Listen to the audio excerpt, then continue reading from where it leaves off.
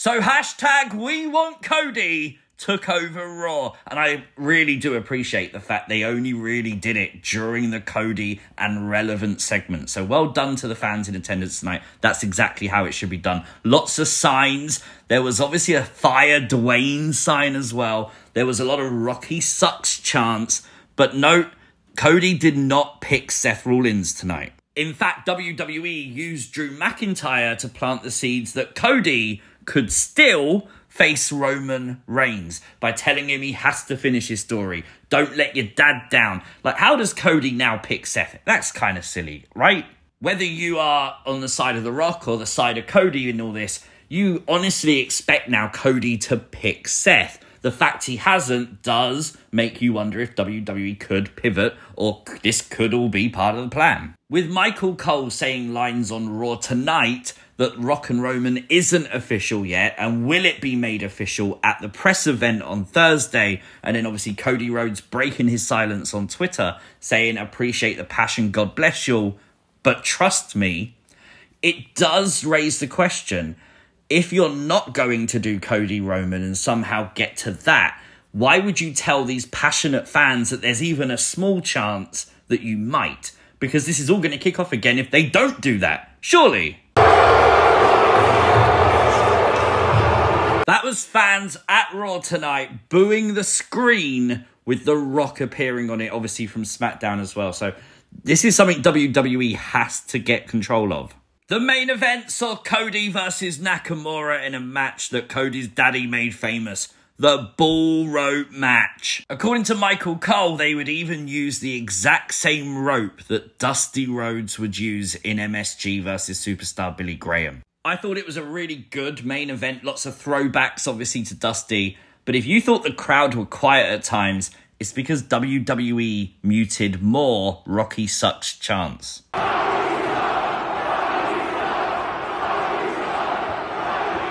Cody Rhodes would beat Nakamura, finishing that chapter of the story, and then Drew McIntyre would attack after the match, leaving Cody Rhodes laying. This is things you might have missed from WWE Raw. Make sure you hit the like button. And if you are new to the channel, hit the subscribe button too. We have to talk about Drew McIntyre's shirt on Raw, using the meme of him sitting at CM Punk's WrestleMania main event grave. Oh, it's brilliant. And after Drew McIntyre was actually fined tonight by Adam Pearce for attacking an injured Seth Rollins, you can support Drew McIntyre by buying his new t shirt on WWE Shop right now.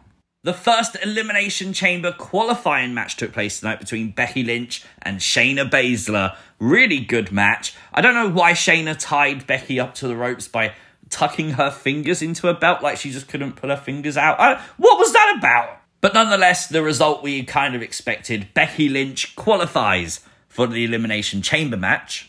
We then got a really interesting promo from Liv Morgan. Liv Morgan obviously returned at the Royal Rumble, first time she's appeared on Raw since, and she'll be in a qualification match for the Elimination Chamber next week versus Zoe Stark. Liv, though, saying that she's back for revenge against Rhea Ripley. Obviously, Rhea was the one who originally injured Liv Morgan. So the storyline's definitely there. I mean, it does give another option. People are so adamant it's going to be Becky Rhea, which actually I think it could be.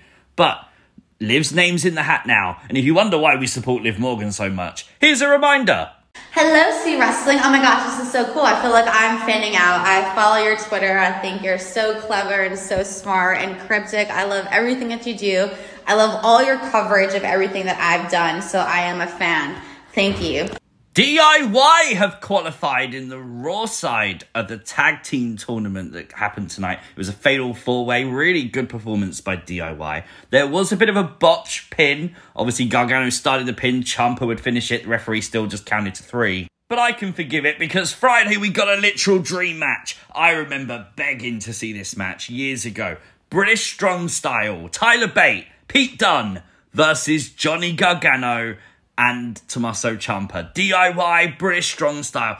My SmackDown's going to be stacked. That match alone is worth tuning in for. An irate Rhea Ripley would come to the ring tonight, calling out Nia Jax. And I love how they did this. Having it happen during an Adam Pearce Drew McIntyre segment just kept the flow of the show going. And of course, this wasn't planned. This wasn't a planned part of the show, so it felt more spontaneous. Having Adam Pearce then come out was just a cherry on top. Of course, Nia Jax would come out. It didn't end well for Rhea Ripley at all didn't really end well for general manager Adam Pearce either. I mean, he shouldn't have gone out there in the first place, should he? Poor Adam Pearce, man. But this has to be the Elimination Chamber, right? We've got to be thinking that. I'm sure they're going to be setting this up. This has to be the match that sees Rhea Ripley win in Australia, surely. Ivar and Valhalla were successful tonight, defeating Akira Tozawa and Maxxine Dupri. Gotta give respect to that choke lift in the corner to Akira Tozawa by Ivar. Made him look brutal with that slam going down.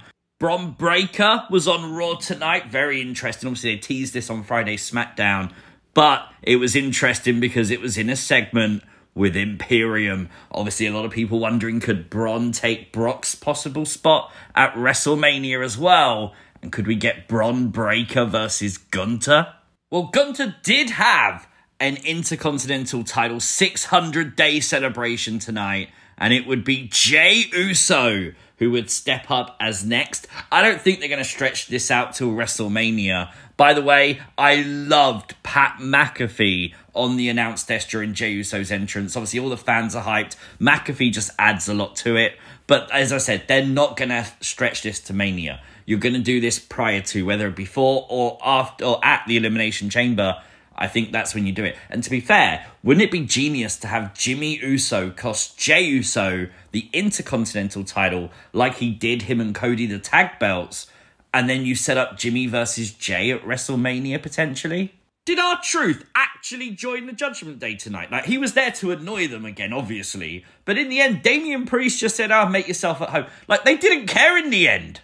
Worth noting, they've still got that tiny old ass TV that R-Truth actually gave them, but R-Truth would find a box of t shirts, and the t shirts were the ones with R-Truth on them. Is Judgment Day actually coming around to the idea of R-Truth being in the faction? Well, Truth would come out and he would hand out the t shirt to fans during a match between The Miz and JD McDonagh, But it would be R-Truth putting the t shirt on Dirty Dom. I love that. It's so good and then handing JD a load of money again that would be the distraction that caused JD to lose to the Miz and his money as well go flying. Which, by the way, R-Truth then picked up all the money and left with he robbed JD. oh, poor JD McFunko Pop. The Kabuki Warriors retained their tag team titles tonight, defeating Kayden Carter and Katana Chance. Honestly, I like the match. But I kind of thought Bayley would be around. I kind of think after the big turn on Friday, maybe this was the perfect opportunity to highlight that more. A highlight promo for Sami Zayn sitting in the stands all alone. And obviously, this was genius, man. This showed Sami Zayn's passion on why he wants to be champion, saying it's not just for him, but it's for the fans. Honestly, how do you leave Sami Zayn now out of the World Heavyweight title picture? Surely we're building to a triple threat between Sami, Drew, and Seth, right? If we're not doing Cody, I don't even know. But you know what? As a wrestling fan, it's always fun not to know. I think there was some decent action tonight. I think there was a lot of stuff they could have done. Obviously, I've referenced stuff in the video. So for me, 6.5 out of 10 is low, but it seems very fair for tonight. Let me know your thoughts in the comments down below. Subscribe to the channel if you're new. Turn on notifications. Never miss an upload. Like the video. Share the video. Catch you next time. Peace!